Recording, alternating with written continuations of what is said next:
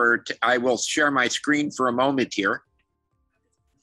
So um, I'm always gaveling out the uh, meeting at the end. And so John decided to um, get me a an official Ivan gavel.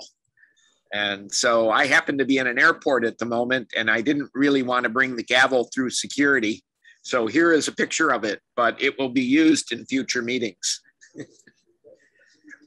and so anyway, um, with with that introduction, I think I'll turn things over to John to welcome us all.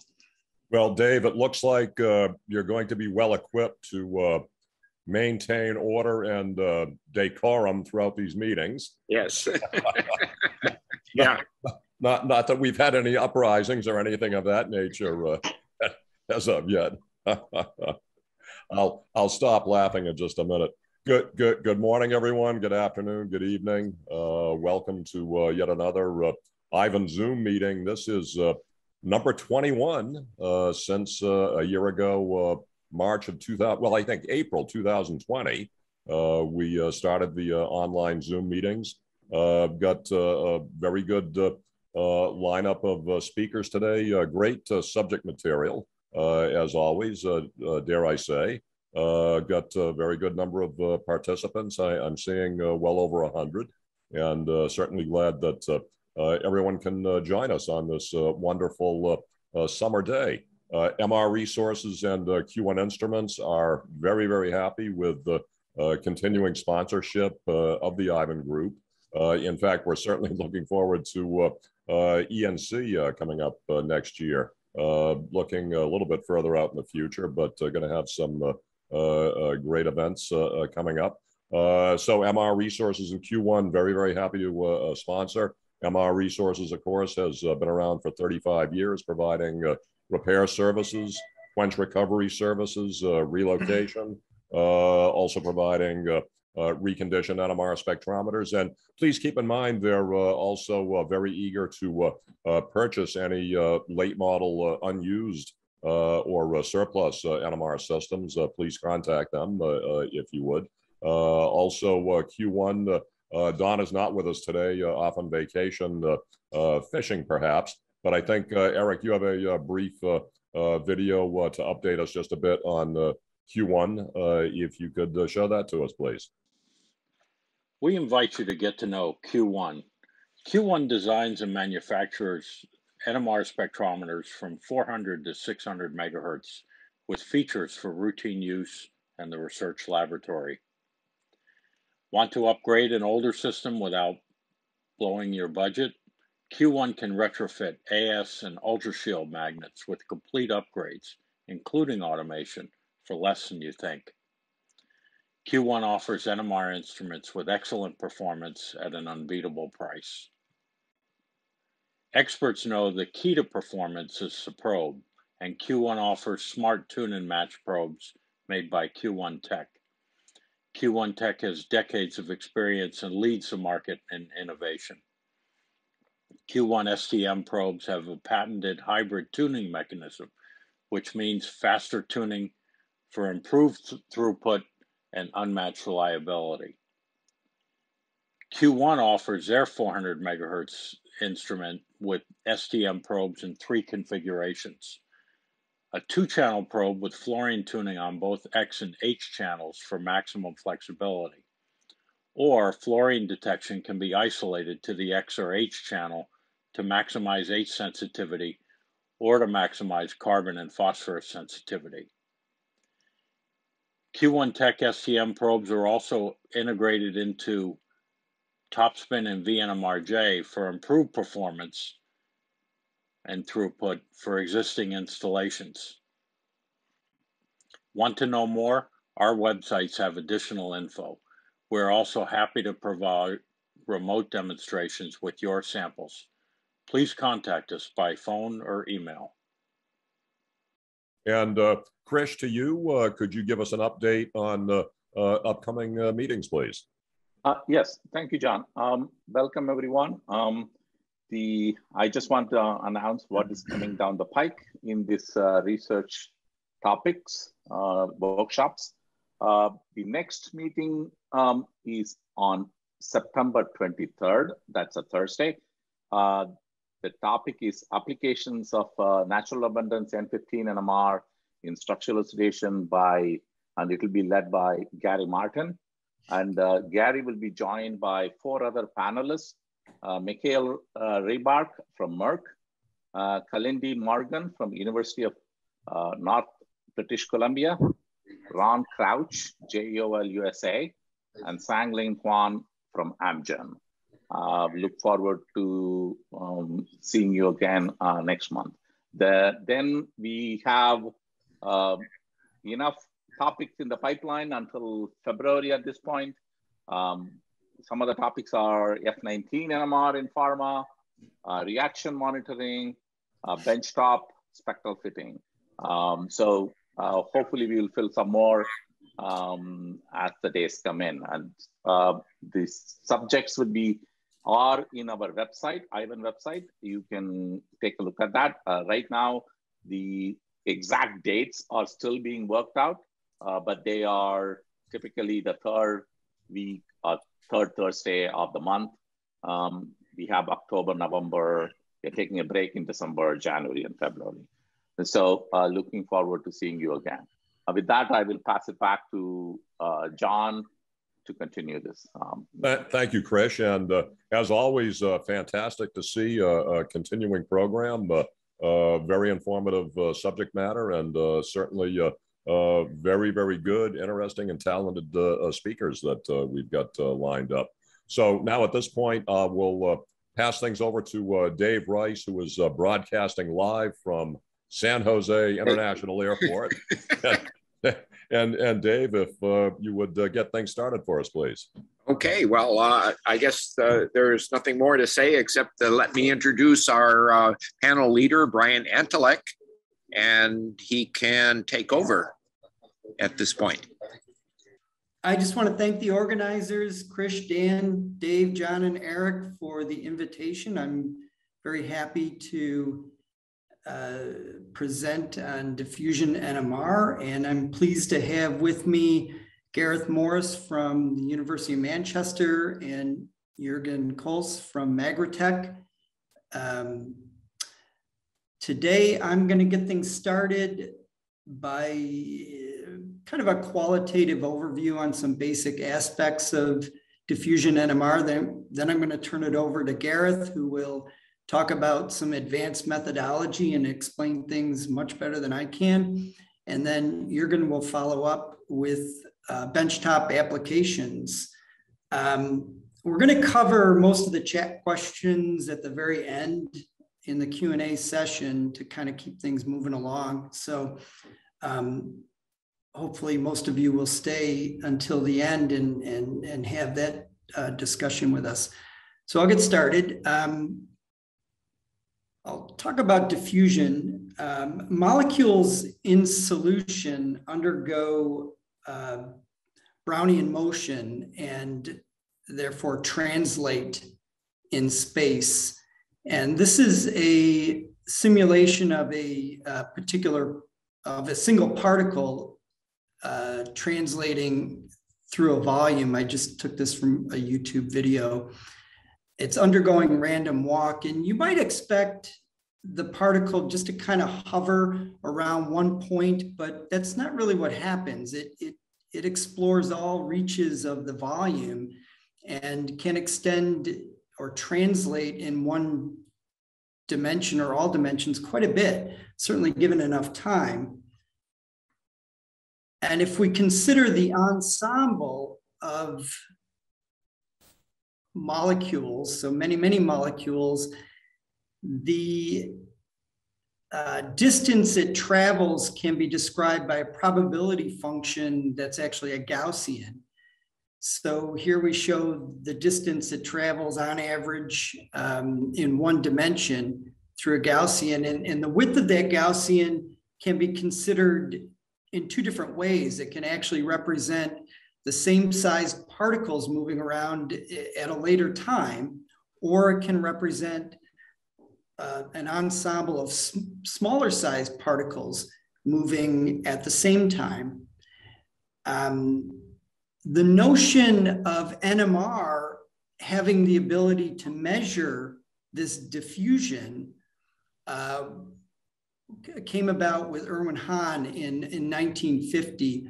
And I, I, have an excerpt from the late Sir Paul Callaghan uh, that I've included, and I think it's a, a very good description. I'll just quickly um, read it out. In 1950, Erwin Hahn pointed out that spin echoes in NMR could be used to measure molecular translational motion, an effect made possible because nuclear spins carry a phase determined by the history of their residence in magnetic fields. If through our own volition or by consequence of sample structure, magnetic fields can be given some spatial variation, and if the spin bearing molecules translate, then the spin phases can be made to tell the story of that migration. So essentially, we need two different things. We need the ability to refocus magnetization given to us by the spin echo, and we need a variation in the magnetic field. Um, and, and from that, we can actually measure diffusion. And it wasn't until the mid 60s that Stejskal and Tanner uh, devised a method using pulsed gradients um, that made the experiment actually very useful. So from here, it took off, and um, as um, magnet technology and probe technology improved, people started using this more and more.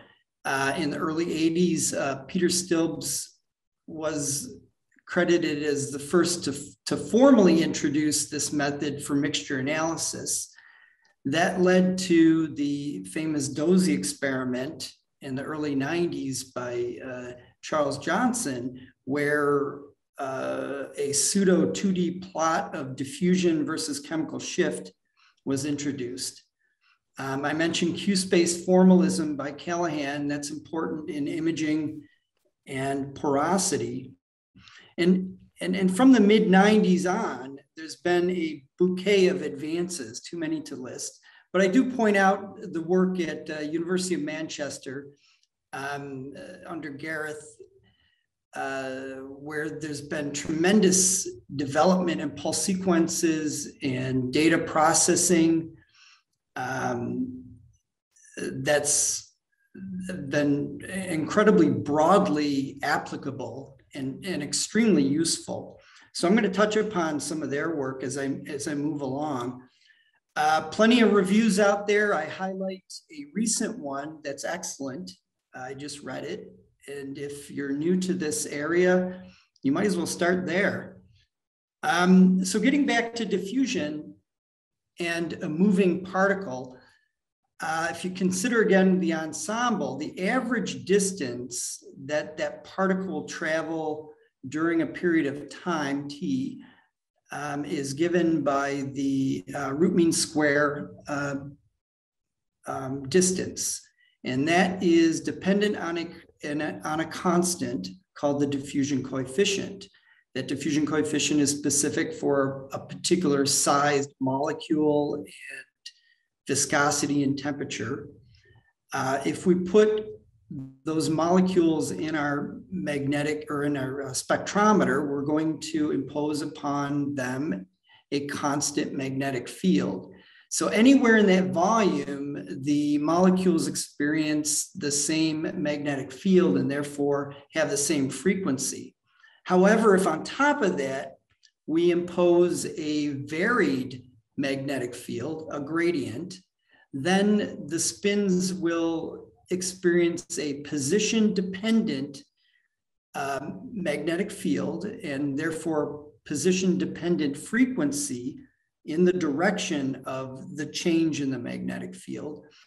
Um, if that variation is introduced via a gradient, uh, having a certain strength, G, and certain time, little delta, then we can uh, impose upon it a well-defined position-dependent phase angle.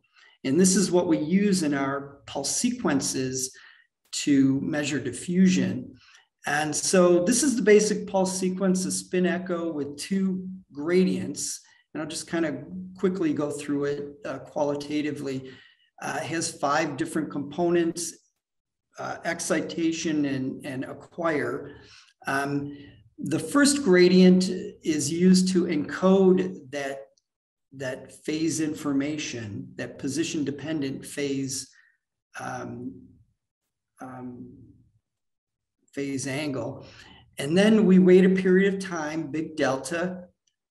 Uh, and in the middle of that period, we have a refocusing step. And then we apply the gradient again to bring back the position dependent phase angle. And if, if I can just kind of show that um, qualitatively, um, the position phase angle can be um, looked at this way. So, so the, the gradient adds to that phase angle, and then we have the inversion, and the second gradient brings it back to um, our acquisition so we can, in principle, get back all of our signal. However, in that period of time, diffusion molecules uh, translate. And so they're located at a different point after that period of time. And therefore, we're not able to bring back that phase angle um, completely. Therefore, we lose signal. And that signal loss is going to be dependent on the gradient that we apply.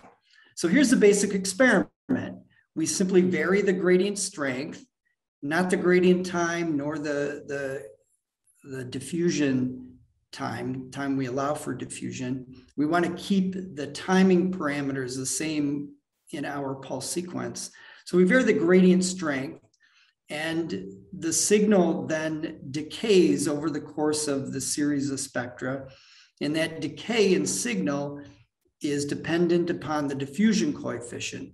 So in this case, small molecules translate farther in distance than large molecules, and therefore their signal cannot be um, uh, refocused as much as the large molecules. And this is dependent, or this is well known and dependent on the, the, the Stejskal-Tanner equation on um, the parameters of the gradient as well as the diffusion coefficient. So this is how we measure the, the diffusion coefficient. And from here, there is a wide range of applications uh, from mixture analysis to uh, porosity. Um, I'm going to kind of go through large molecules and small molecules and then talk a little bit about mixture analysis um, briefly. I do a lot of work with polymers, and so I'm interested in polymer diffusion. So I'll point out a, a few things about polymers um, as I go along here. So if you measure the diffusion of polymers as a function of molecular weight, uh, you will find that they scale, they obey a power law, and it's well known.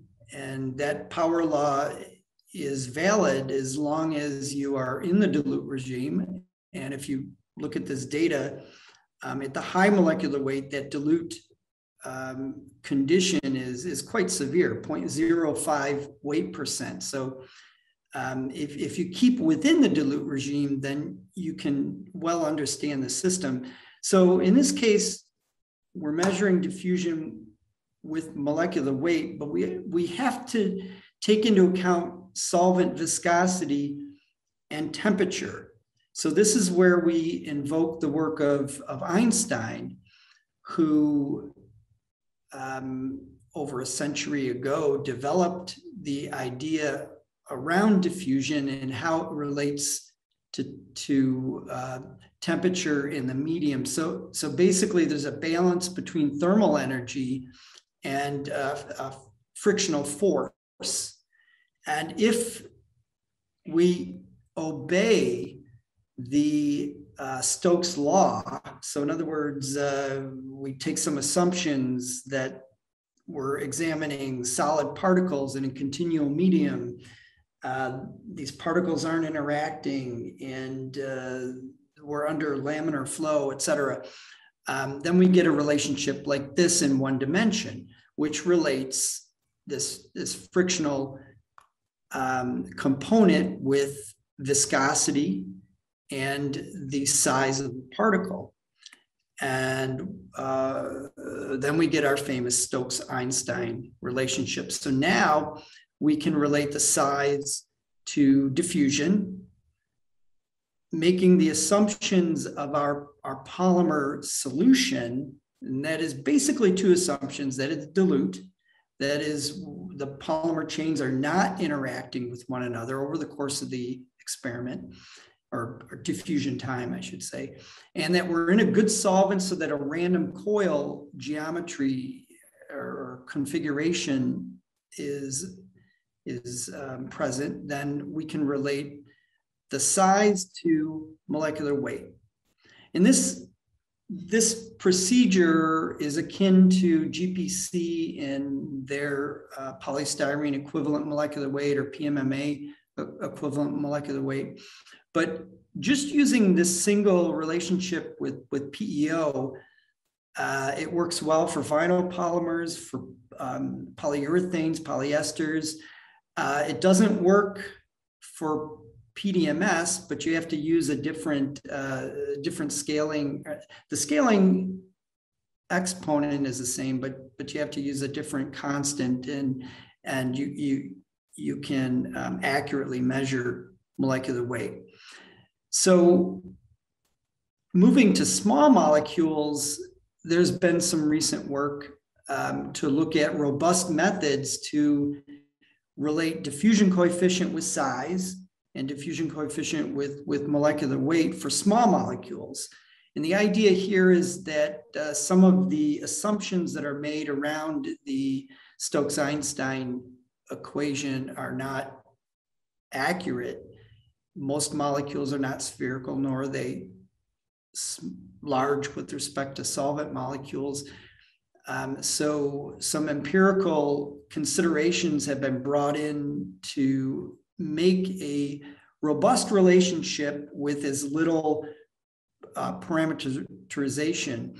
And the, the nice thing is that this um, formalism, which was developed at um, Manchester, uh, is, is nicely included in a practical tool that you can download. So all the work of uh, the uh, of, of defining the temperature dependent viscosity for many solvents, as well as the the the, the um, math behind the calculations, you can now convert diffusion to size or molecular weight. This is very useful in in studying uh, chemistry of small molecules. Sometimes um, you want to determine if something has dimerized, for example so that this can be very practical.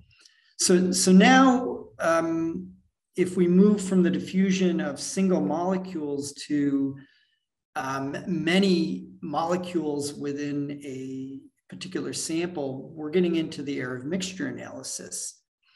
Um, so here we're interested in trying to pick apart a sample that is a mixture and uh, try to simplify it, try to break apart the components, understand if things reacted with one another, et cetera.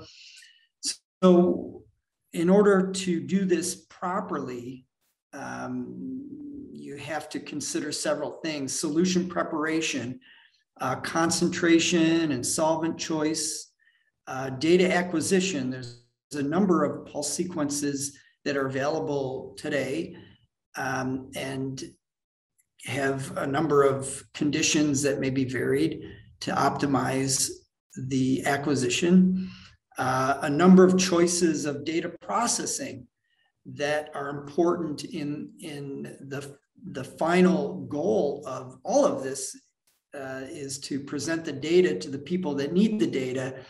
Um, what's the best way? Is it a 2D plot or is it resolved components or or what. So um, if we consider a simple system, sometimes just showing the spectra is enough. Maybe you show the last spectrum and, and show what, what the polymer spectrum looks like without all the solvents and impurities in there. Maybe that's enough. But sometimes uh, showing it in a 2D plot with diffusion versus chemical shift is, is important. There's a number of different ways to do this. Um, but then there's another way to present the data that is to resolve the components uh, as pure components or pseudo pure components based on their uh, diffusion coefficient. And so, again, um, out of Manchester, there's a, a beautiful um, um, program called GNAT that incorporates all of the main uh, processing methods um, for diffusion data. Um, it's very easy to use. Uh, I use it all the time. It's it's free for download. Uh, works great. Um, here's an example of a solution of glucose and sucrose. They are pretty close in size to one another, but you can show the separation of the two components, well, three components if you include water, um, very nicely in a 2D plot um, or you can resolve the components under some circumstances um, cleanly using another method, in this case called SCORE. Uh, you can see independently uh, the sucrose from the from the glucose. Uh, maybe you want to do this if if if you're interested in looking at this, um, making assignments, for example, of a component or figuring out what it is. Um, there's some caveats uh, that you have to consider in using one versus another. As the diffusion coefficients get too close together, it gets more difficult to resolve pure components, for example. So I'm going to wrap it up a little bit and show a a, a, real life example that I looked at a, a, couple of years ago. We had a chemist that was interested in making a blocked copolymer of styrene and um, allyl methacrylate. In this case, there was a it was a two-step synthesis, make the first block of styrene, then grow the um, allyl methacrylate onto it. We were interested in understanding what the heck we had at the end. And with diffusion, um, we discovered that we had polystyrene homopolymer, at least a fraction of the material that was made was polystyrene homopolymer. So, so some of the uh, initial block was inactive for one reason or another and, and wouldn't form a copolymer. And then the copolymer um, we discovered had a compositional variation as a function of molecular weight. So the allyl methacrylate uh, versus the polystyrene, or at least the ratio, varied as a function of molecular weight. And we were able to uh, compare that with the GPC um, in, in a complementary way. Um, and, and I just want to finish up quickly with, with a couple of, of, of quick thoughts here. Um, there are some common problems that one has to um, understand. Uh, non-constant gradients, convection, uh, because of temperature gradients, that will always exist. Um, there's uh, ways around it uh, using um, physical means or, um, for example, smaller tubes or spinning.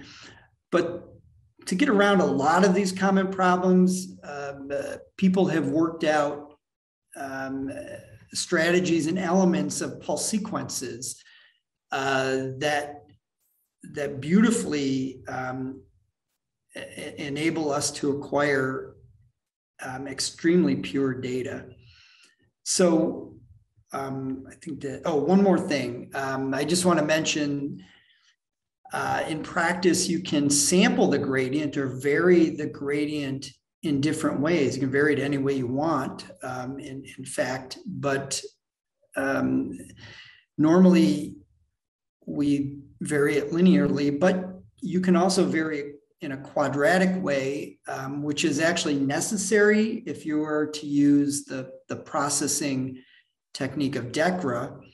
Uh, one way that I've found very useful is varying it in a, in a sigmoidal way because it accounts, it better accounts for low and high molecular weight in the same sample. And that, that can be used with DOSY or, or CORE or a number of different um, techniques.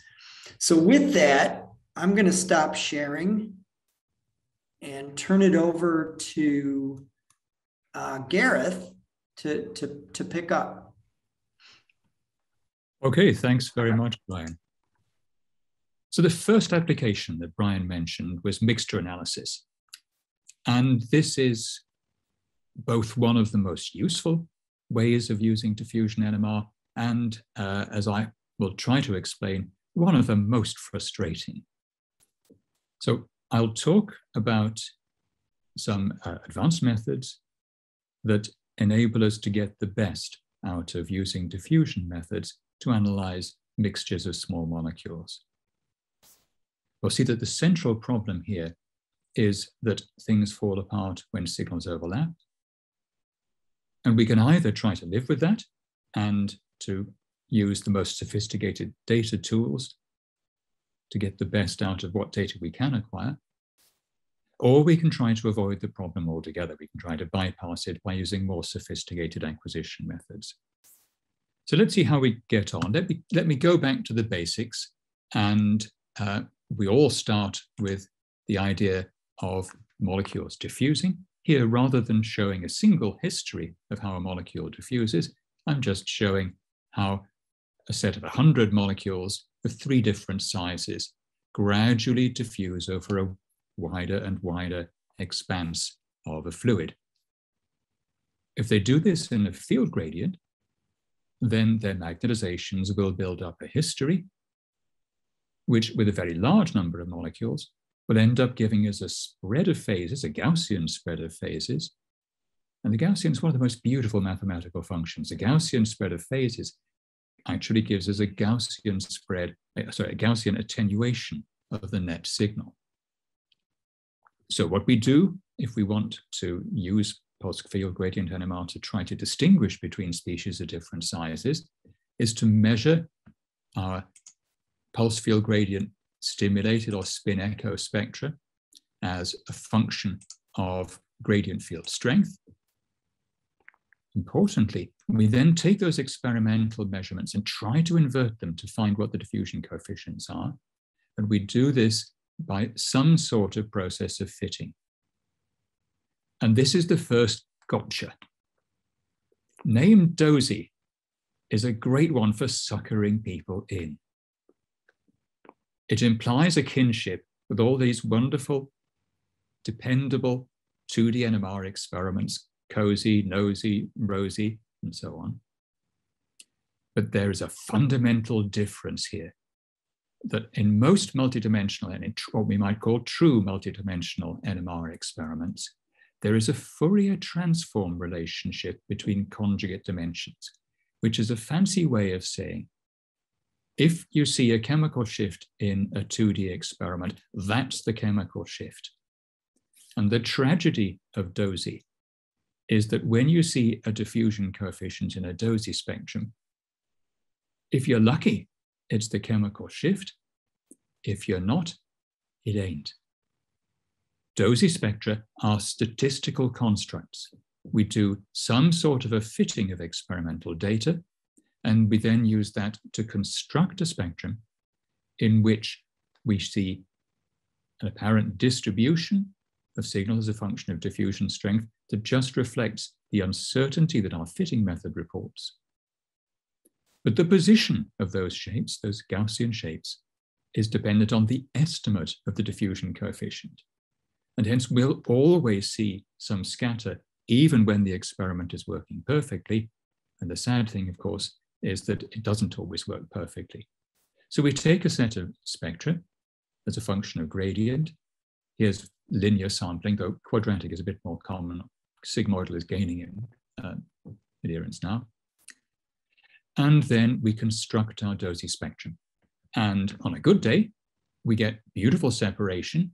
Uh, this is a very, very old spectrum of uh, a random set of molecules that happened to be on the fume hood on a Sunday morning. But it gave a very nice result where if we project our experimental data onto the diffusion axis, we see a diffusion spectrum in inverted commas, which has four components and says, we've got four different species here. And if we were to take a cross section through the 2D spectrum, the 1D cross section would give us a separate spectrum for each component at each diffusion coefficient. So what could possibly go wrong? Well, the big difficulty is that the analysis with this beautiful high resolution assumes that we have a single component for each chemical shift. We assume that there is no overlap between signals. To go beyond that is exceptionally demanding of experimental data. So what can we do about this? Well, the basic problem is that where signals overlap, we need somehow to prize apart the different exponential contributions to this signal decay as a function of gradient squared. And statistically, that is an exceptionally challenging job. Whole review articles have been written about how this is a mare's nest, a really difficult job. So what we generally do in chemical applications of DOSY is to use just a mono-exponential fit. We say, okay, let's assume that we have just a single species, a single diffusion coefficient for each peak. And let's then do an analysis based on that, but always at the back of our mind, know that if we have overlapping peaks, we're going to get a misleading result. And nine times out of 10, the misleading result takes the form of an apparent diffusion coefficient, which is intermediate between the diffusion coefficients of the two species involved. So we've taken a simple case here where we have a, a strong doublet, which diffuses slowly, and a weaker doublet, which diffuses more rapidly. Where the peaks are fully resolved, we get the correct diffusion coefficients. Where they overlap partly, then we get some sort of a compromise. Now, the obvious thing to do here is just to say, well, yeah, but that's not mono-exponential, it's bi-exponential. So let's do a bi-exponential fit. And again, on a good day, we can get very nice separation. And uh, Brian showed an example here, glucose and sucrose. What we're doing here is saying, well, for each point on this shape, we're going to do a bi-exponential fit. We're going to find how much of each of two different diffusion coefficients we've got. And the result then is that we can effectively disentangle the two contributions. Now, the snag is that this is exceptionally demanding of the signal to noise ratio and of the absence of systematic errors from the experimental data. On the other hand, as Brian's mentioned, there is another way to go, which is to use more sophisticated statistics and we can do a multivariate analysis where we say, well, we have our signal here, which is varying as a function of chemical shift and of diffusion coefficient. So let's impose a model. Let's say, suppose we have just two species here. What does that tell us? And the only way that you can get a perfect fit of such data in this case is with two species which have these spectra and those diffusion coefficients. So these are just complementary ways of applying the same simplifying assumption, the same model to our experimental data. We say we've got two species, do we can do a bi-exponential fit, or we can do a multi-way analysis. This one used SCORE, but there are many other methods. Uh, DECRA is particularly simple and elegant one. So we have a big problem, which is that although the name DOSY promises a lot, it doesn't actually always deliver. Nevertheless, the spectroscopist and the spectroscopic chemist can look at a plot which on the face of it is misleading and say, ah, yes. But if I know I've got a species with this diffusion coefficient, and I know we've got one with that one, if I see a few signals in between, I can say, ah, maybe the signal peaks are overlapping. Is that chemically consistent? So let's try to take an example. And so this was a trial experimental data set. It was just propanol and sucrose in water. And we really went to town on the time averaging. This has a very high signal to noise ratio. Turns out to be far higher than is actually any use, but that's what we got. And fairly standard conditions, 15 different gradient levels, equally spaced in gradient squared, so quadratic sampling. It took just under two hours. Two things that really make a difference to practical experimental DOSY data are that the baseline of the um, 1D spectra that were produced is carefully corrected, and something that is very helpful is to use reference deconvolution. If you have a suitable reference signal, then effectively what this does is to correct any variation in experimental line shape that's caused during the experiment. Of course, DOSY experiments, we uh, use incremented pulsed field gradients, which effectively kick the magnetic field harder and harder as we increase the diffusion, uh, sorry, increase the gradient strength. And the result is that we see more and more distortion of the signal because the magnetic field and the field frequency lock don't quite recover. Reference deconvolution can, properly used, take out this effect and it'll give us much better data. So our problem here, of course, is that we've got a bit of overlap between the terminal CH2OH of propanol and some of the sucrose signals. So if we do a standard, inverted commas, DOSY experiment, what sometimes called HR DOSY, high resolution DOSY. This is the method that gives us the best diffusion resolution, but it completely falls over when we have signals overlapping. So here, where the signals overlap, we've got some signals that appear at intermediate diffusion coefficients. We know that can't be right because there's no, there isn't any third component here. Typically, we'll look at that and say, ah, yes, well, we've got some signal overlap here. No problem. It's clear what's going on. Now, with good quality data, then we can go a stage further and we can use bi-exponential fitting. A rough rule of thumb is that if your diffusion coefficients don't differ by 30%, 20% on a really good day, then there's not much point in trying bi-exponential fitting. A second problem Brian mentioned, the field gradients that are generated in practical probes aren't completely perfect. They're not uniform. They actually vary. You get stronger gradients in some parts of the sample than others. And what that does is to distort the signal decay in just the same way as having more than one diffusion coefficient, just the same way as peak overlap. So if you do bi-exponential fitting of a standard set of data, then you'll quite often see two components that look identical.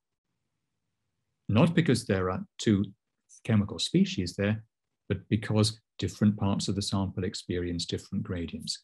And so it's important here to use correction for the non-uniformity of the field. It's actually not too difficult to do. It's built into uh, VNMRJ software, for example.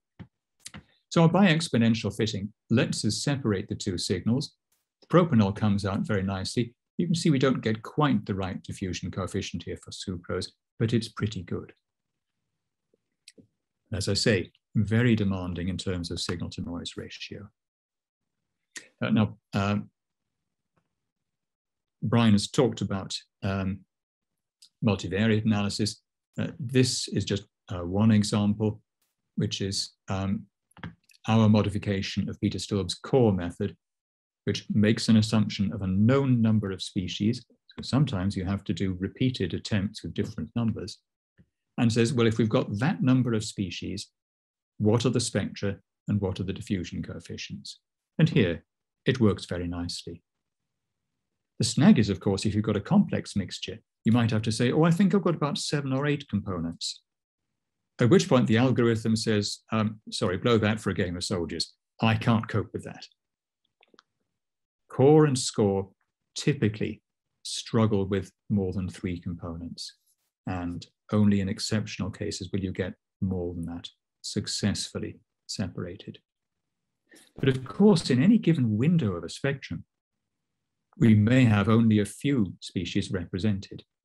So we can take a set of data from a more complex mixture and just analyze it piecemeal and just say, well, we'll take this chunk and then that chunk and then that chunk and do a score analysis on each individual window of the spectrum. And in that way, we can recover very nice data for really quite complex mixtures.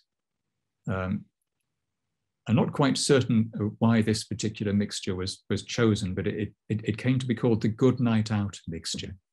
I think that was in the days when illicit substances were commoner in Manchester than they are now.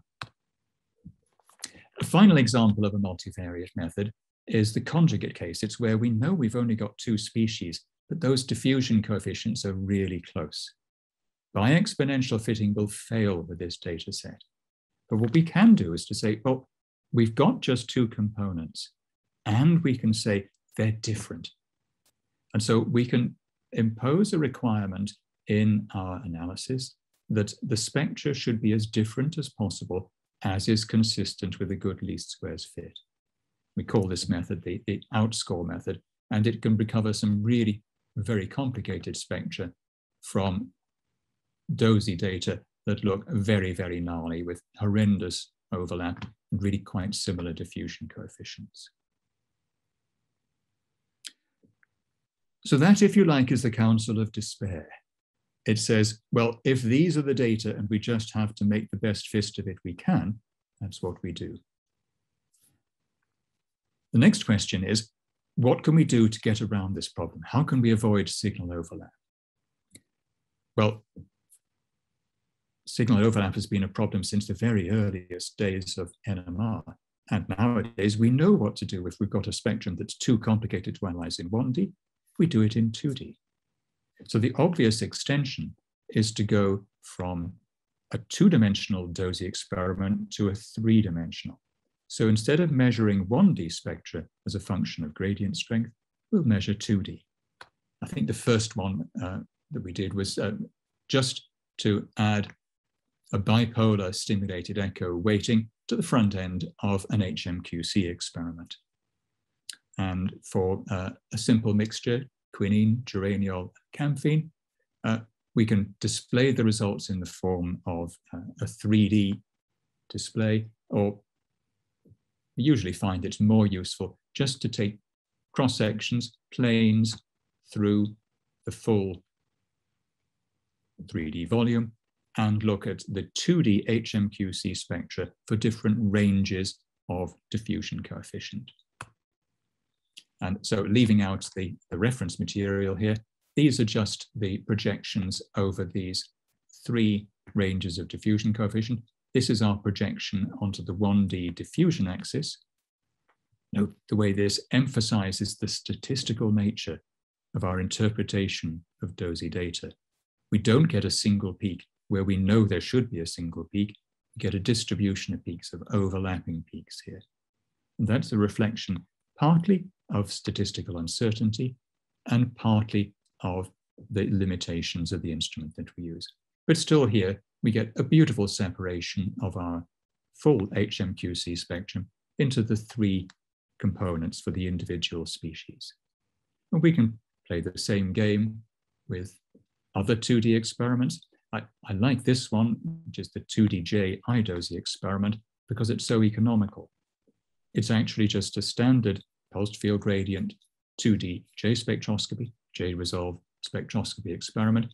And all we do is we vary the amplitudes of the gradient pulses here. So we're using them not only to enforce our coherence transfer pathway, but also to provide diffusion weighting. It's a blisteringly fast experiment because we only need one transient per increment. Um, oh, this example comes from when I had a three month visit from uh, a young postdoc from a group in Aveiro, um, Mathias Nilsson, and he very kindly brought some um, bottles of port with him for us to analyze, Aveiro being um, Portugal, home of the port industry. Very complicated spectra. Of course, there's a lot of water and a lot of ethanol there, but if we pre-saturate that, then we can see that there's a lot of uh, interesting stuff going on here. I should say that um, after three months doing NMR and doing DOSY, Mathias decided that uh, he'd found something that was more interesting in chem than chemometrics. And he uh, very quickly came back and has been with us almost ever since. So clearly this is a very, very complex mixture, um, full of sugars, not surprisingly, DOSY, uh, sorry, port being very sweet wine. But let's just focus on this bit here, because that's what gives you the hangover. So if we look up in the aliphatic region here, we're just going to focus in in a 3D 2D JI DOSY experiment and look at the J-resolved spectra for different diffusion coefficient ranges. And you can see we beautifully separate out the um, three carbon, four carbon, and five carbon chain alcohols here. So sobering to think that that's what you're drinking when you have a port. Since then, a whole variety of 3D methods have been produced. This is just another example of a heteronuclear correlation where we're effectively separating the HSQC spectra of two different components, rutin and quercetin. This is actually a constant time variant of um, HSQC. So it's another iDOSY. We use I here to indicate that the diffusion encoding is internal to the pulse sequence. So it effectively comes in for free, doesn't cost us extra complication or time in the pulse sequence. And so we get a nice separation here again. Now, one of the reasons why we, we like DOSY is paradoxically because it led us into a completely different area of NMR methods, which is that in order to avoid overlap, since we're normally using proton NMR, it makes sense to go back to perhaps the classic problem in proton NMR, which is first enunciated by Hans Primas and Richard Ernst, which is the problem of multiplet structure. The proton is a wonderful nucleus. It has a high gamma, has 100% abundant, but it's only on average got one electron around it. So it's got a very narrow chemical shift range, so spectra very rapidly get overcrowded. And when we were banging up against this resolution overlap problem in DOSY, I remembered that Heinz Sterk had told me about a beautiful experiment in which he did what Ernst had tried to do many years before, which is to collapse homonuclear multiplet structure. And we went back to this experiment. Uh, the original method was called the Zangger-Sterk experiment. Klaus Zangger, who's still in the area, and Heinz, who's now retired. And we said, well, let's just bolt a Zangger-Sterk pure shift, as we now call it, experiment onto a diffusion weighted stimulated echo. And instead of complicated overlapping multiplets, we should now have singlets.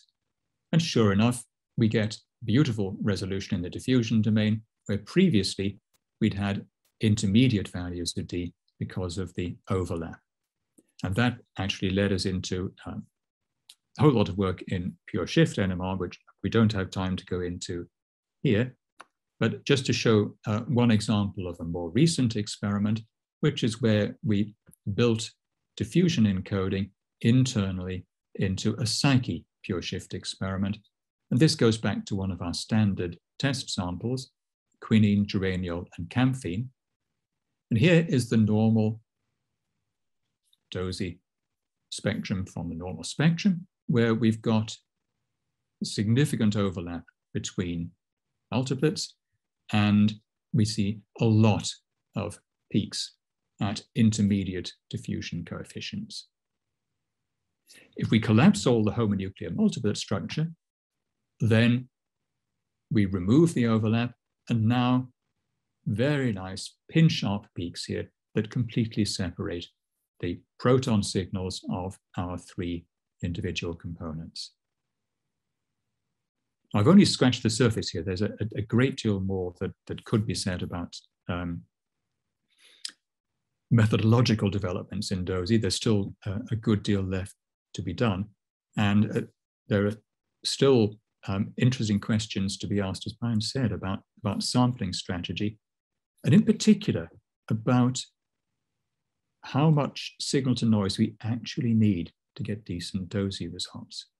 Is there a simple relationship between the signal to noise ratio of the experimental data and the uncertainty in the diffusion domain in DOSY spectrum?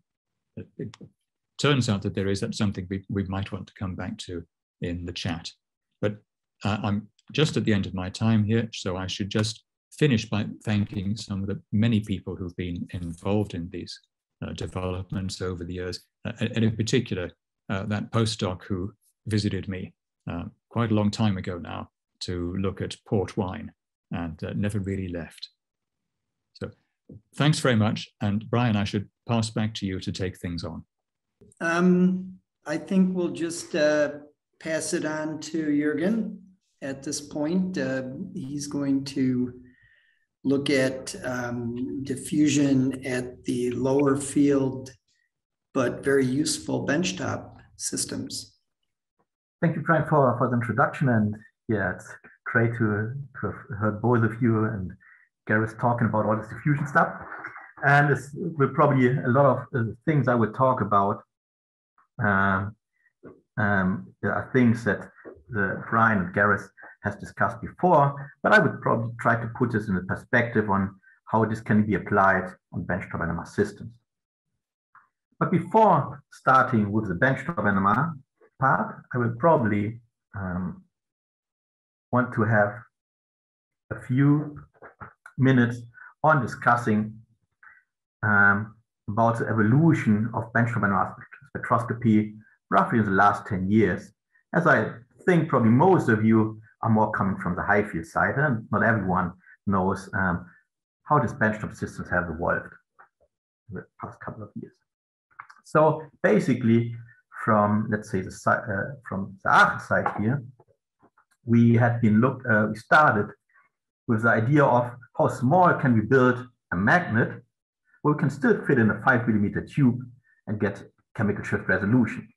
And you see here on the picture on the left, that is what this guys at the Bernhard Blümich lab, where, where part of Magritek is originating from, came up with. And we had this very small magnet put in a five millimeter tube, and we got some early spectrum with water, where the line width that we had here was quite broad, and had toluene, and we were quite um, happy that we that we could resolve aromatics and the methyl group. So from this time on, we said, okay, this can be probably become better.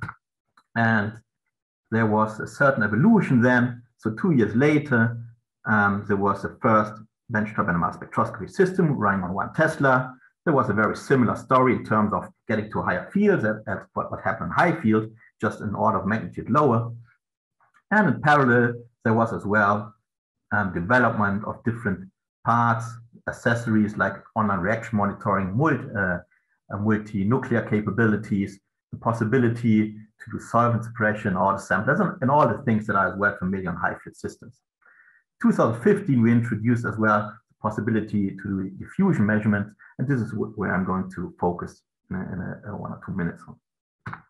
So if you look at current state of the art benchtop NMR systems, you will, uh, I showed here a spectrum of 20% chloroform and acetone, and you see the resolution that you can get here. It's at 50%, it's something like 0.1 hertz. At 0.55%, something like 4 hertz. And even if you go uh, at 0.11%, you get something like below 10 hertz. And this is probably in, in hertz, yeah, something similar that you would as well expect on a, on a, on a proper high field system. Obviously, this is in hertz and not in ppm. But still, having this performance now and this resolution, which as well helps to, to uh, um, to improve sensitivity, you can start running some standard um, uh, spectra, like here the one proton, run on a 90 megahertz system, and you can uh, concentration like 250 millimolar single shot, you get quite nice resolved peaks. Obviously, here in the aliphatic region, there is some signal overlap, but then you have as well the chance to run carbons, where you can uh, basically nicely get one-to-one -one spectra from what you get in high field. Basically, what we need is a longer measurement time. So in this uh, case, it's taking two hours. You can run 2D uh, COSY experiments as well. So this on the same sample takes about 30 minutes, and you can very nicely resolve all the couplings that you, that you have there. On top of that, you can as well run this HSQC or HMBC methods that Gareth was mentioning. So this, in this case, is not combined with the DOSY axis, but still in quite short times now making use of the uh, polarization transfer to the protons, you can get quite nice HSQC spectra in about 10 minutes. And if you're applying some non-uniform sampling, this can be even come faster. And while on the right side here, you see an HMBC, well, quite in half an hour. And what, what we think is like this method will overcome some of the uh, disadvantages that you have because of the lower chemical shift spreading. So now having all these methods in place for, um, for the standard NMR, now let's have a look on what can we do with uh, diffusion. So I have a few points I would like to discuss here. And the first one will be quite short, is about how we measure diffusion with a benchtop NMR system. And the answer is pretty much exactly the same as what we do in high field.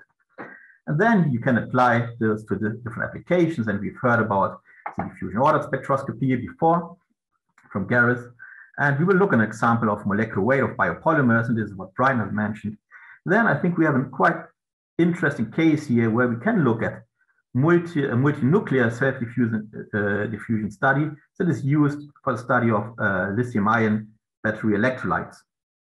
And uh, as a last example, I've taken um, some uh, measurements or some, some plots from a paper from one of our customers, which showcase nicely how NMR or the benchtop systems can be directly brought to a process and where you have the chance to measure automatically in a fully automatic way um, diffusion coefficients that in this case are used for droplet sizing.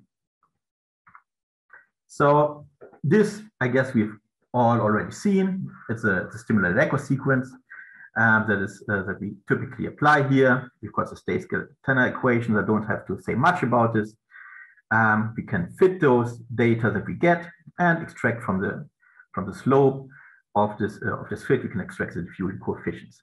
So typically all the benchtop systems that we would come would already come with like a, a 3D set of gradients for coherent selections, but for diffusion, you will typically need stronger gradients to be able as well to measure samples that have a low diffusion coefficient. So we typically have like gradients that can go up to one Tesla per meter, depending on the model that you use.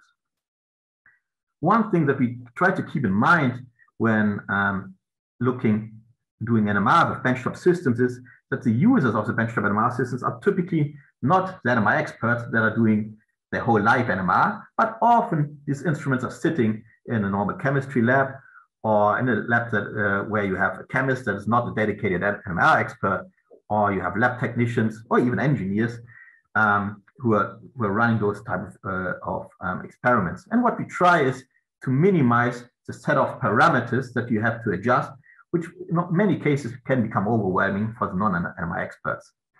So we try to reduce, for example, the, the parameters just to the ones that will be sample dependent and have like pulse length and delays have, have uh, other delays have those fixed. And we have uh, tried to give a simple way of um, analyzing the data. So in this case, we just put an integral. Integral it will do um, a single component fit and will spit out your um, diffusion coefficients. So and this way you have like an easy data processing that would help you to as well attract people that are probably not um, well familiar too much with the NMR site.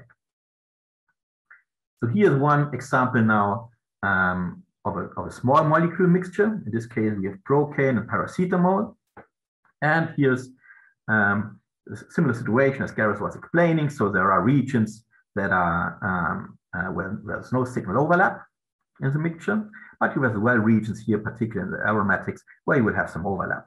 So one way just to measure the diffusion coefficient of the mixtures is just to say, okay, I will just sit on the peaks that I know are separated, and you put them in a, in a Tanner plot. And you see here, even um, you have just quite a small variation of the diffusion coefficient of the two components. So in this case, it's between around 50%. You can nicely differentiate those and determine the, um, the diffusion coefficients. So if you look at a DOSY plot, yeah, in some cases you, you are lucky, let's say, or, uh, and you have to, even in the small variations, you can get, uh, you have the chance to, to differentiate uh, the different mixtures here. And even, even in this case, the diffusion coefficients are quite close to each other. You see nicely the two lines for the two different spectra. And obviously here the, uh, we used water solvent and the diffusion coefficient of the water will be much, uh, will be much higher. So this data was well processed with a, with a toolbox um, from uh, which you can download from Gareth Morris group server. This uh, was the toolbox, and I've just seen that I think there's a newer version which, which includes more functions that probably need to update ourselves. So again, now looking at larger molecules, and this is uh, a quite similar case in what Brian was um, uh, discussing. And actually, we haven't talked about before what we're going to show. But here's exactly the idea. So we have here a block copolymer of polystyrene and polymethyl methacrylate. And if you just want to measure what's the monomer ratio uh, in there, you can see, okay, just by integrating the different regions here in the aromatics, you will get the, the styrene signal. And you've got here the methyl group from the PMMA. You will be able to determine what is the ratio between those two. But what you cannot say if these are copolymers or homopolymers just by having a 1D spectrum. So here, if you look at the copolymer, you what you get is like basically the same diffusion coefficient, yeah, for the for the methyl group as well for the styrene group. Um, but if you would now have a polymer blend, you would be able to differentiate between the two if they have some, some different molecular weight size. Although the um, the proton spectrum will look, the, will look the same. So here you have the chance to use DOSY to differentiate if it's a copolymer or if it's two homopolymers. And even now, if you add, let's say, a homo, homopolymer to the, co, to the copolymer, you have a situation that you have the same diffusion coefficients for the molecules that belong to the copolymer. But then you have as well the chance, if you do this by way of by exponential fitting, that you will see here a differentiation of the diffusion coefficient of the homopolymer uh, with the part that belongs to the copolymer. Now, as we've seen that the uh, molecular weight or the diffusion coefficient depends on the molecular weight, yeah, we can as well apply this um, to give an estimate on the molecular weight of different polymers. So this, in this case, here we were looking together with, uh, with Jack Reynolds on different uh, samples of lignin. So he, he's got a 400 megahertz system and we just run the two spectra. So this is on a 43 megahertz system. So um, this is, let's say, the lowest field that we have been offering with the benchtop systems. And you see the spectra well, resample each other, but obviously on, on, still on 400 megahertz, you will have um, a bit more structured area here, particularly in the aliphatics. But if you look at the diffusion coefficient of those two samples, they are very good agreement with each other. And then you can um, plot this against molecular weight determined through a, a GPC analysis, and you can have like a, a good estimate of calibration to measure molecular weights as well using a benchtop system.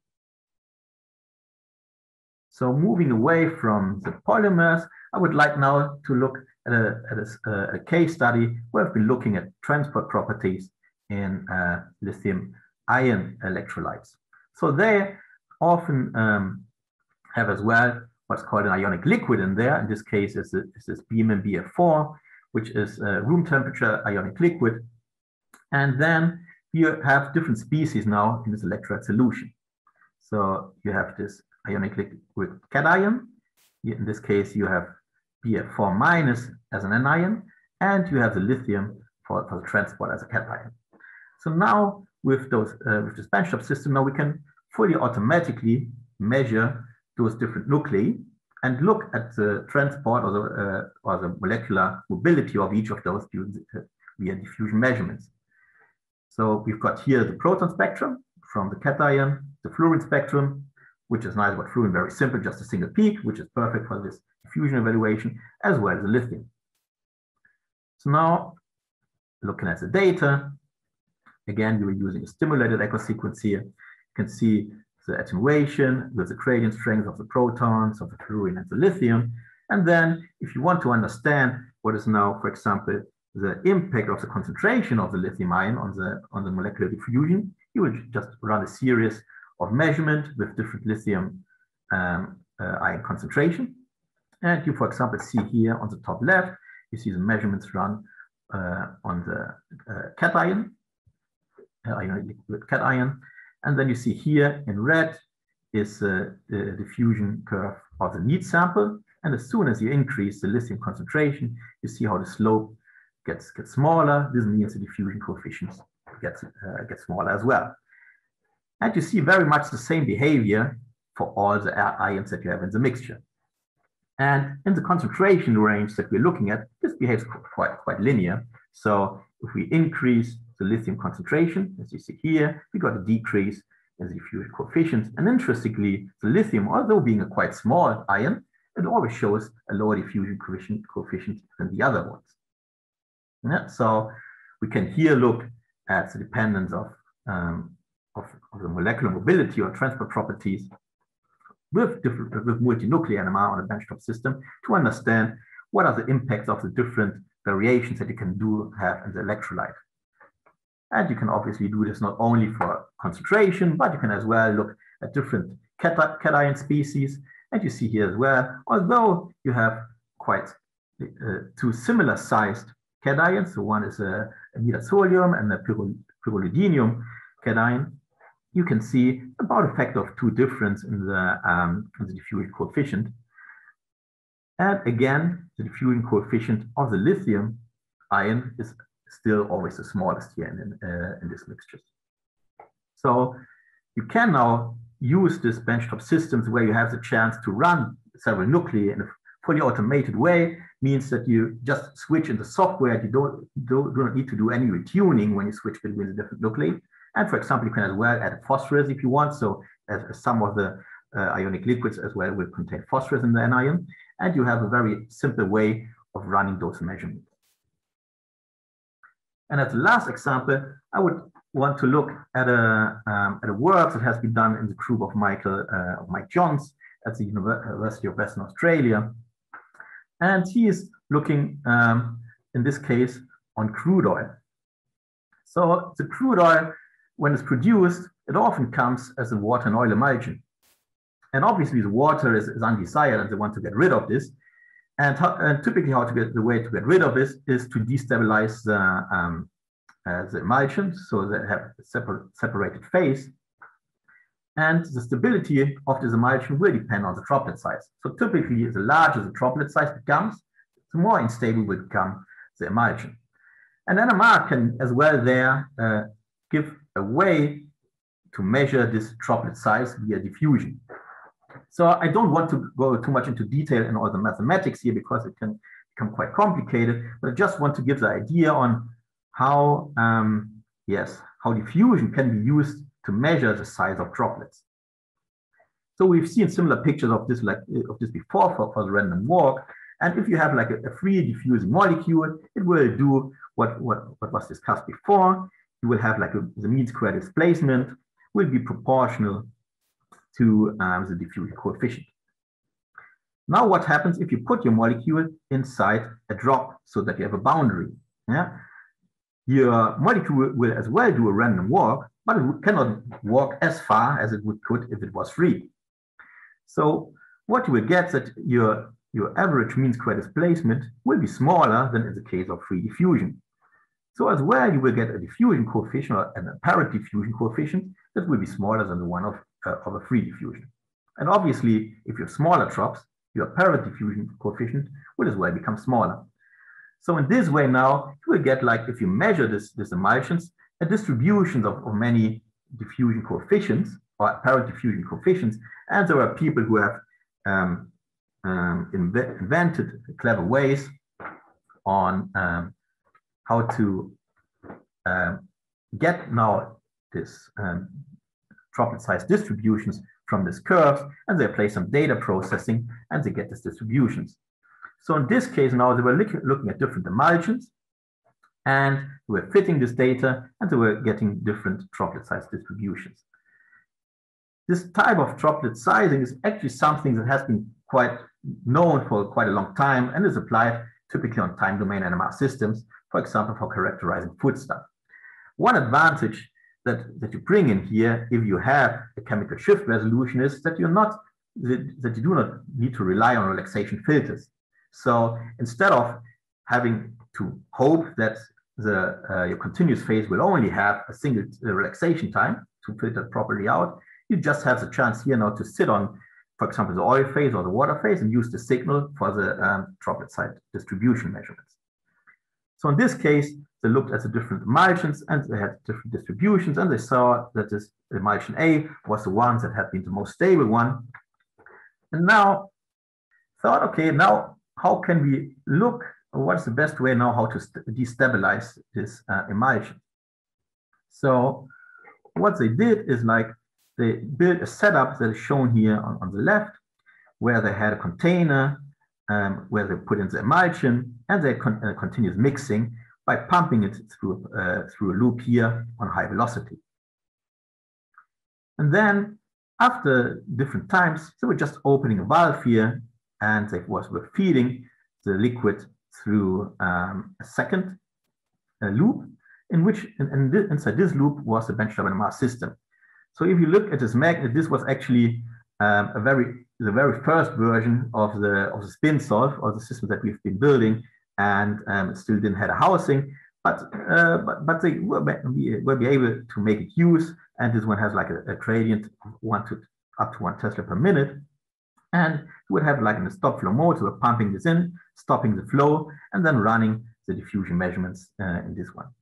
So they were looking at different demulsifiers, and if you can look, uh, if you look here for the demulsifier two and three, there were hardly any change uh, with the time um, of the, the droplet size distribution. But if you look here at the demulsifier one, you see here how the, uh, how the droplet size changes as a function of time going to higher droplet sizes. And this tells you about the way how the progress is of your destabilization process.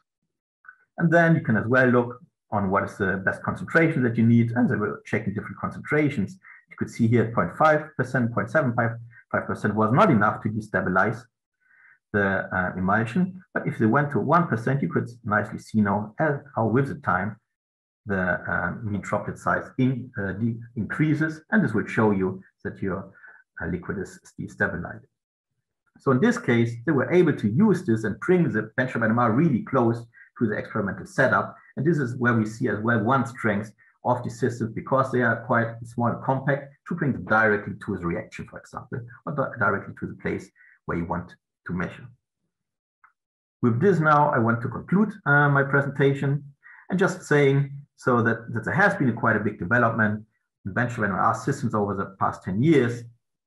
The benchtop NMR systems can be equipped with strong pulse field gradients for diffusion measurements the typical methods that are applied are very similar to what is used as well in high field, and the small size and ease of use of the system does allow to implement benchtop NMR spectroscopy for applications like byline or online monitoring that are probably otherwise quite difficult to access. And thank you with this, and I would like to give back to go back to Brian. Okay. Um, first, I want to thank uh, Gareth and, and Jürgen for uh, participating in this with, with, with me. I um, really appreciate their efforts and contributions. Um, I think right now what, what we can do is dive right into the Q&A.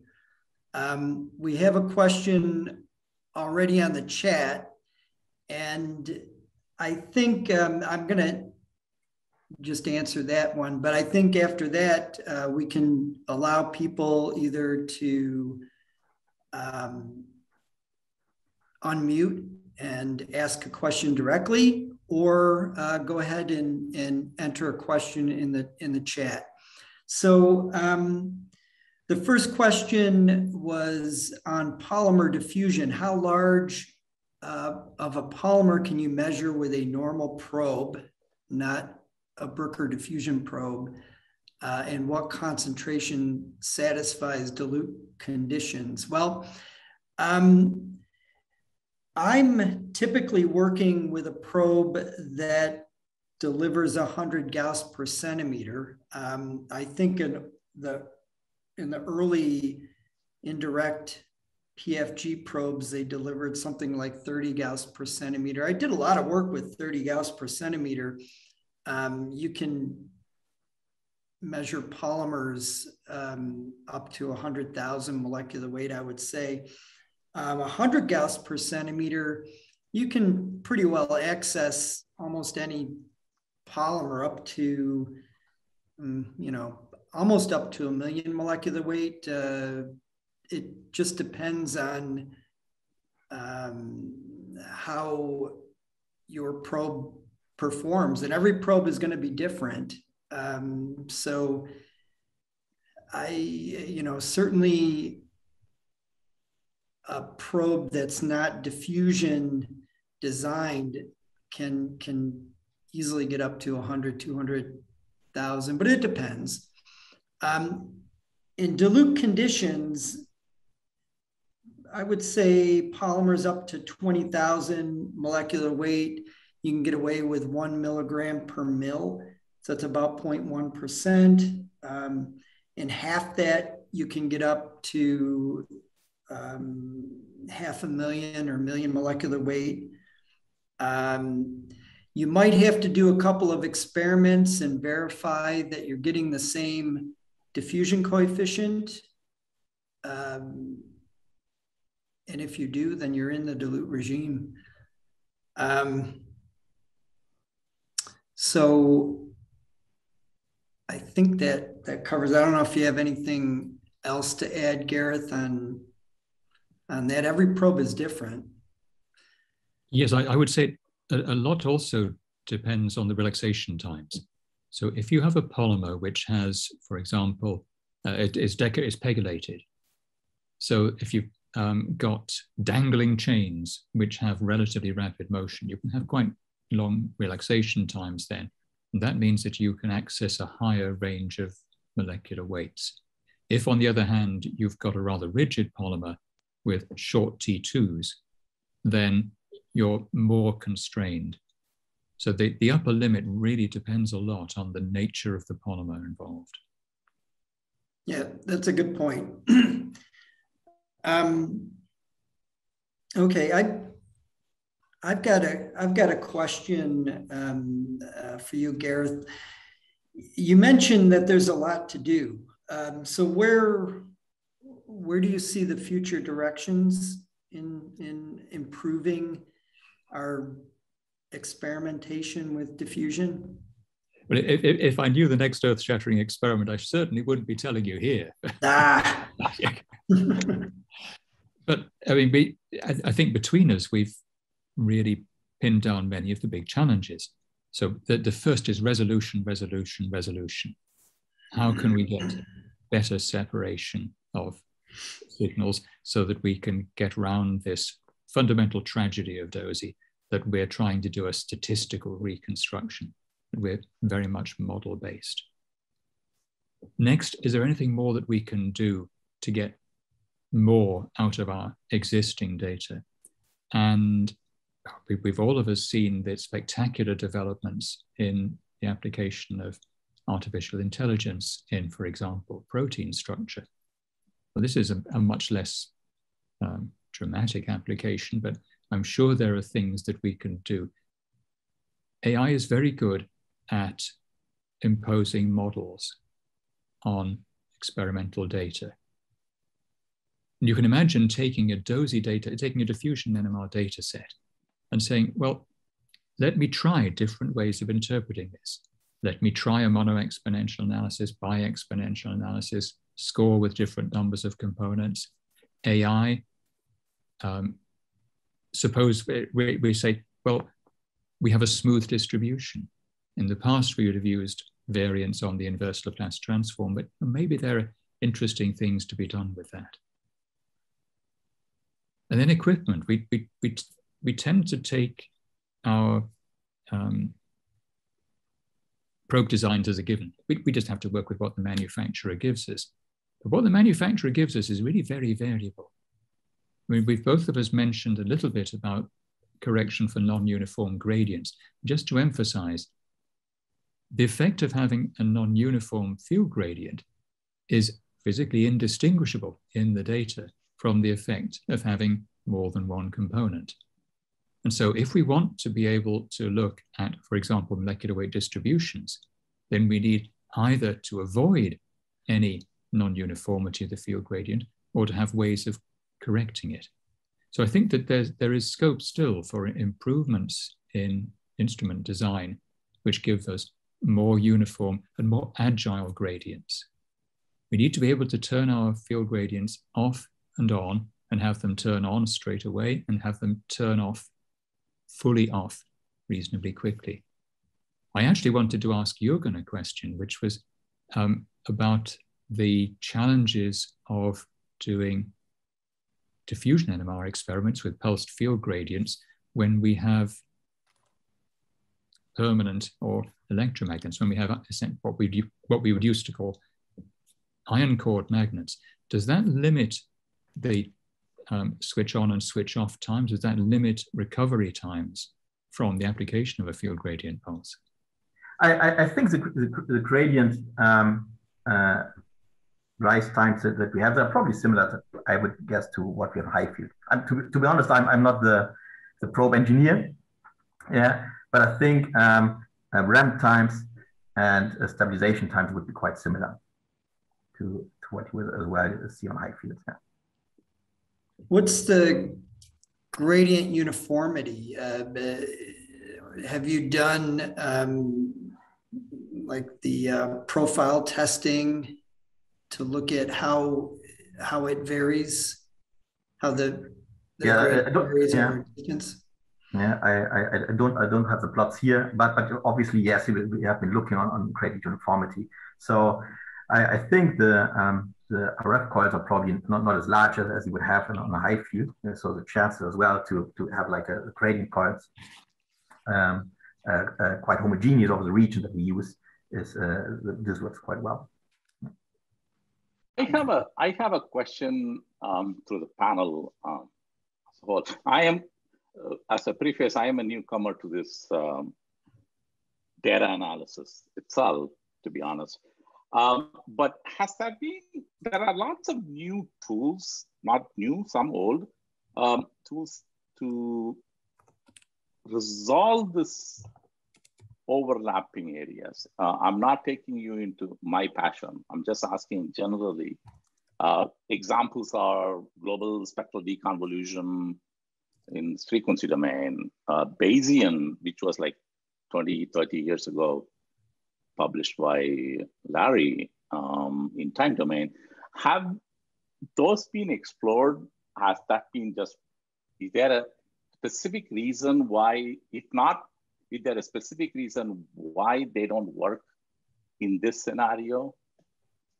It's, it's purely how do we resolve overlapping areas, overlapping peaks. That seems to be the problem that I'm hearing, at least from Gareth's and Jürgen's and Brian's talk. Yeah, I think um, resolving overlap peaks is is pretty easy as long as the diffusion coefficients are far enough apart. But it's when the diffusion coefficients are close to one another that's when it becomes exceedingly difficult to deal with overlap.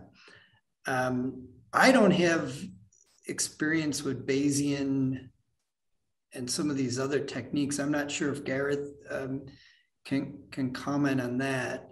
Um, there's techniques, for example, that just look at the time domain. You know, maybe maybe there's opportunity there. Uh, to answer Chris's basic question, no, I don't. As far as I know, people really haven't used frequency domain fitting methods to pre-process DOSY data, and it, it's certainly there's certainly a possibility that it, it would be useful. I, I would say that it's a particularly challenging case because you need to produce quantitative results. You need to um, produce very accurate results if they're to be useful in diffusion analysis.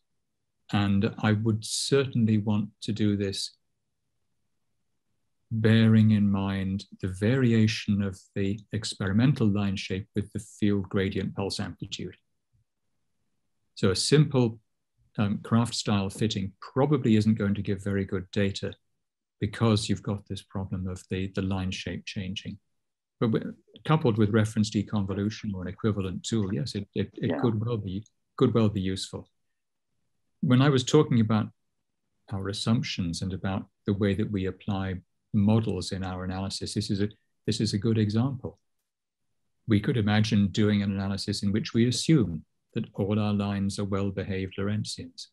If that's the case, then what is the best reconstruction of a 2D diffusion spectrum, a 2D DOSY spectrum from these experimental data?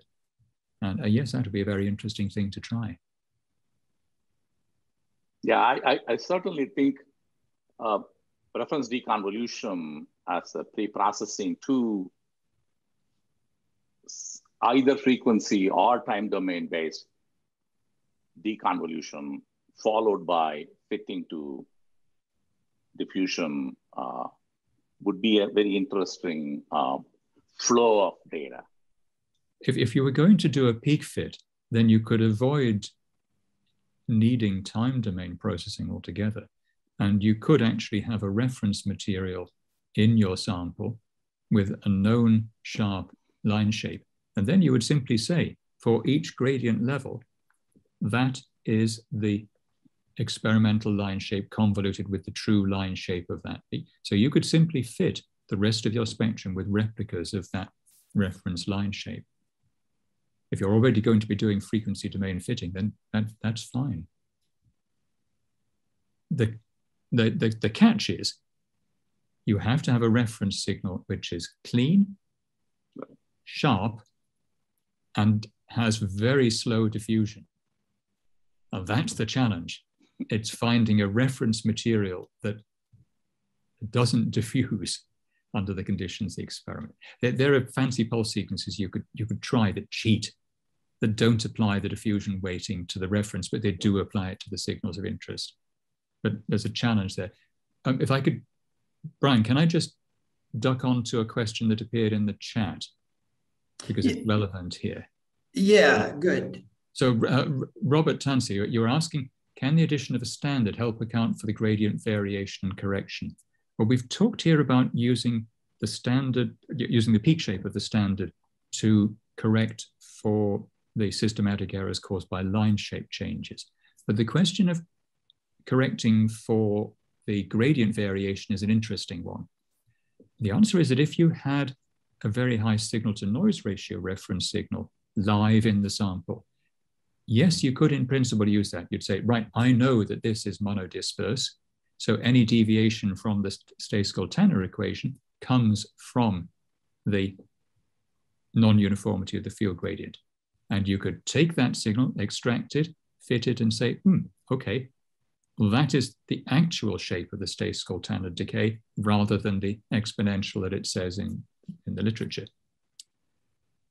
But that's a pretty big ask, having a really high signal to noise ratio, clean monodisperse reference. And so what we would normally do is just to do a separate experiment because we don't need an internal reference. And so normally we simply do a single calibration for uh, a given probe and um, experimental parameters. Typically we'll use something like 1% uh, H2O in, H in D2O because we've got a very accurate diffusion coefficient for that. And we would do the calibration that way with an external reference. But an internal reference is certainly possible. So thanks for the question. I think um, I was kind of, you know, I've had some experiences with the various uh, DOSY, the, very, the, the variations of the DOSY method. And it occurs to me, why not use the local DOSY every time? Um, in, in my hands it doesn't always work but but why i mean it, it seems in principle that ought to be the go-to every single time um, but what what are some of the details gareth that might make that not so. okay. Um,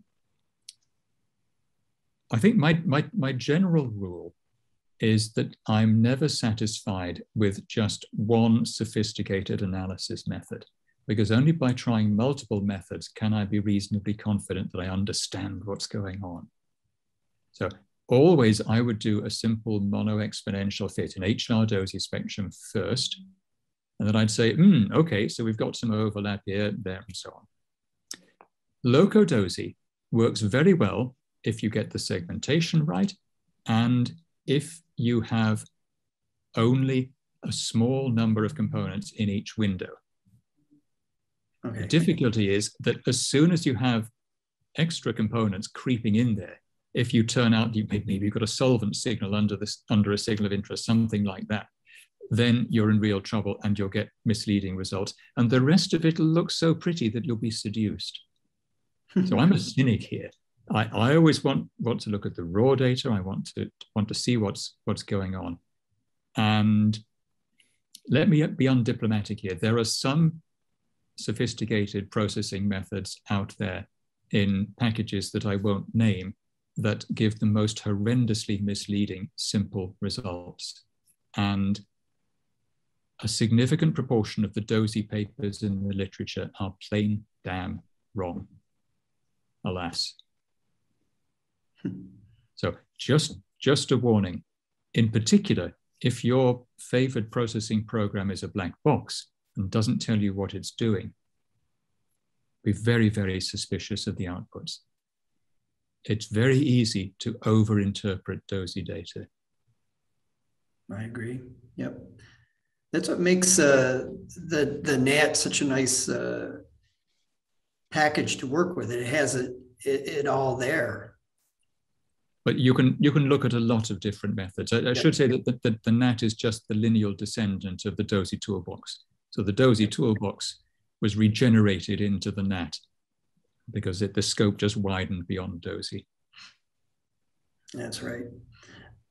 Um, I, I, thought I'd talk a little bit about um, convection currents caused by temperature gradients. I was going to ask Jürgen, um, how do the benchtop systems fare with temperature gradients? In other words, with with uh, traditional spectrometers, the um, VT air typically comes in from the bottom and heats the bottom of the tube, and you end up with temperature variation across the tube, and that can cause convection currents, especially in chloroform and some other low viscous solvents. Um, how do the benchtop systems heat the sample? Do they have VT? I think they have VT. No, so typically, so VT is actually is, is, an, uh, is a kind of problem for benchtop systems. So obviously, what we try is to keep the magnets as small as possible and this means that the bore that you've got in there is, is quite, is, becomes quite small. Yeah. And what you try to, um, to have is, let's say that um, um, because the permanent magnets usually have a certain sensitivity to temperature, yeah, you, you try to, to avoid too strong temperature changes. So what we have now in, in, our systems is like the magnet itself is working at something like 20, 26, 27 degrees. Yeah, and the sample will take up the, the temperature of the magnet in a certain way. So in this case, because the, the temperature of the magnet is very homogeneous, you will not have the similar issues as you would have with the blowing air from the bottom, yeah, because the, the samples will itself will get a very um, stable temperature over, over the whole range. Obviously, if you would have a sample, I think that, that would go out, that, that would fill so high that you would have it reaching out of the magnet because the magnets are quite small, this um, I could see that there could be a temperature gradient, yeah. But typically you you will have your, your samples filled. I don't know half a, half a milliliter, something like that, yeah. And in this cases, you would have a quite uh, homogeneous temperature throughout the sample. Okay. Um, and is there a, a convection compensated one shot experiment out there? I believe yes. Um, it, it's not one that uh, that we we produce, but uh, I think possibly Péter Sándor produced one. Um, the, the difficulty is that that is really getting pretty long and complicated. So you lose a lot of signal from relaxation uh, or? Well, um, no, it, it's more that you've got multiple opportunities for um, the wrong components to refocus, I guess.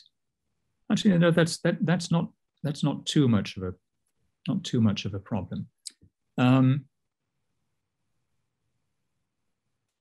yes, I, I would have,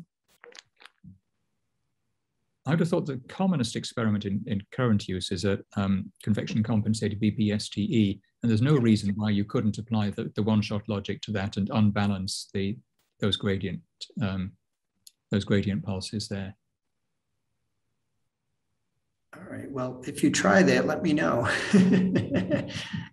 um, I get around uh, some of the problem of, of um, convection by simply spinning the sample. Um, that actually helps. Uh, I guess a lot of people are using now thick walled sample tubes. Do you have experience with that? Yes, the, um, we, we've, we've written a few papers on this um, about the magnitudes of convection currents and so on generally. And the, the thing that really helps is that the um, onset of Rayleigh-Benard convection and the velocity of Hadley convection depend on something like the inverse fourth power of the, so it depends on the fourth power of the radius. And so if you halve the ID of your tube, then your convection problems just get a whole lot less bad. So um, if you're desperate for signal to noise ratio, then you can try spinning, but the difficulty is that any transverse variation of the field gradient is really going to mess things up when you try to apply strong diffusion weighting. So I would normally go for, um, yes, a thick wall tube, or even, even maybe just a three mil tube put into a five mil turbine. Yep. And that works very nicely. Yep. Uh, if, if you're feeling uh, extravagant, um, sapphire tubes are very nice. They're relatively thick wall and they've got a much higher thermal conductivity. Right. Okay. I was uh, I was thinking different different glass materials. Yeah. Yeah. The glasses don't don't make don't make too much too much difference.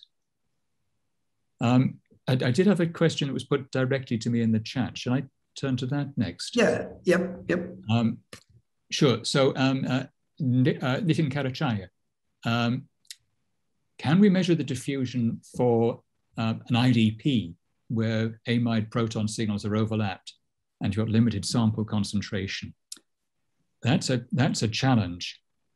Um, if obviously, if you've got a single IDP present, then the fact that you've got signal overlap isn't a problem. Overlap is only a problem where peaks overlap would come from species with different diffusion coefficients. So if you simply want to measure the diffusion coefficient in IDP, IDP, that's fine, just, just bang ahead. But be very, very wary of looking at NHs because they exchange. And if you've got exchange with the water, you'll see that your NHs say, I've got a diffusion coefficient of um, 10 to the minus, uh, 5 times 10 to the minus 10 meters squared per second. But your methyls and the rest of the spectrum will say, no, no, I'm more like 10 to the minus 11 meters squared per second.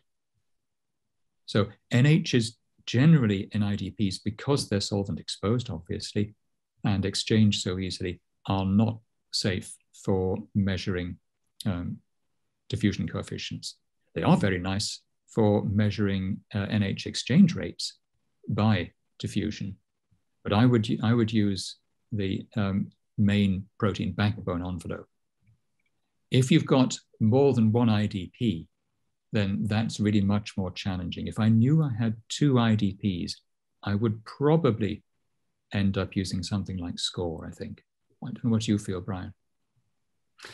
Yeah, I think um, I think a score is such a a useful uh, method. I, I think is as long as we should mention too that as long as you have a wide um, or, or a, a, strong decay in signal, then then score will will be very good. In other words, you you want the signal to go almost down to nothing by the time you're done with the experiment. Then then it, it the algorithm has a, a broader range in, in signal difference to um, to, to use. So I think if if there's a lot of overlap, that that's where you want to go.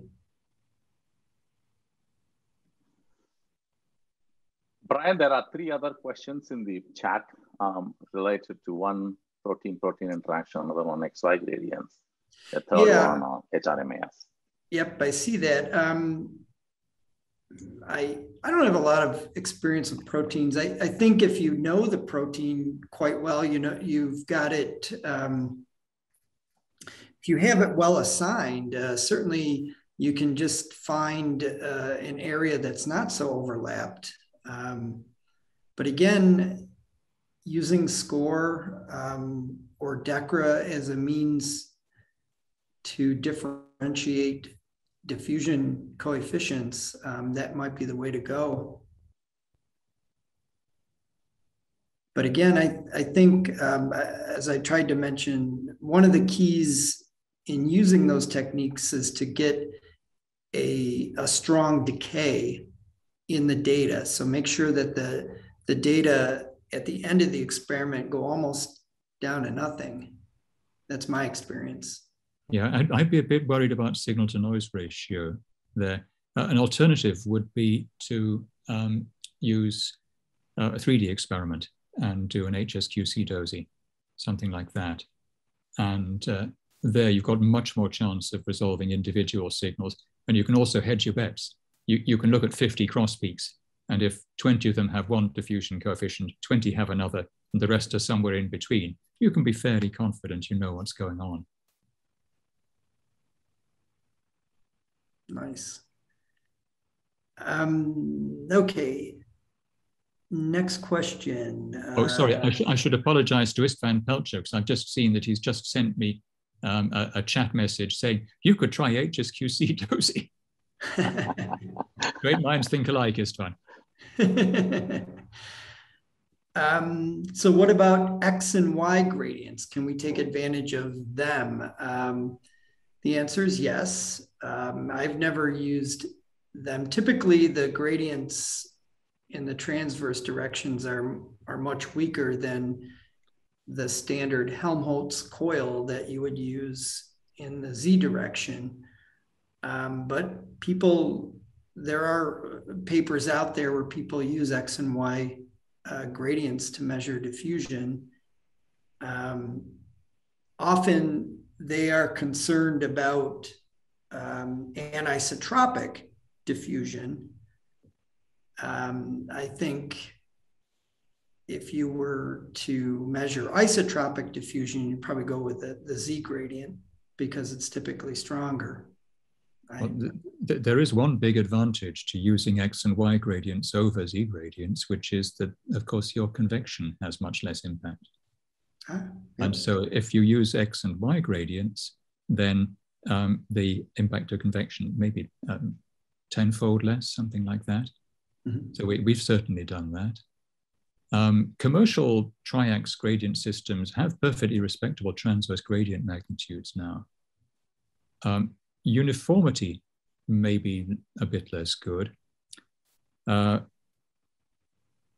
it can be very handy to have triax gradients where you're doing uh, more complicated pulse sequences because you can use one direction for diffusion encoding and then two other directions for CTP selection, coherence transfer pathway selection, without worrying about accidentally refocus things, refocusing things, in particular about without worrying about complicating the Stejskal-Tanner equation. Because if you do something like a constant time HSQC iDOSY experiment, where you have pulsed field gradients being used for two different purposes within the same sequence, they can interfere with each other and they can just complicate the analysis a little bit. So if you've got them, Triax gradients are really very nice.